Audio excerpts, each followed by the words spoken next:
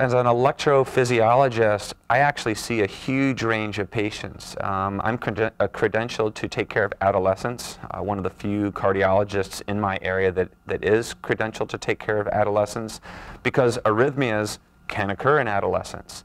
So I see lots of kids in high school that have either fainted, have a sibling that's had an arrhythmia problem, they feel like their heart is racing, and if you think this is stressful for an adult, um, it's extremely stressful for uh, a 14 or a 15 year old who has never had any medical problems in their life. At the same time, I see people later in life.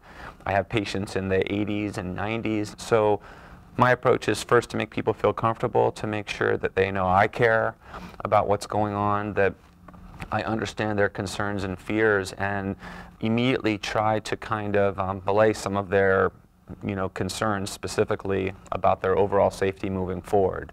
And if you kind of think about someone um, that you're seeing as a patient, as a family member, um, I think that that makes it easy, and it also makes it easy to kind of get inside and understand where they're coming from.